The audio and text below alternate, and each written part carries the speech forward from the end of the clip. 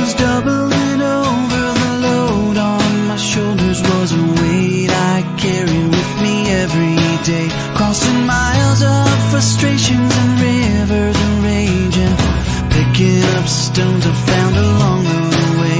I staggered and I stumbled down pathways of trouble. I was hauling those souvenirs of misery. And with each step taking my back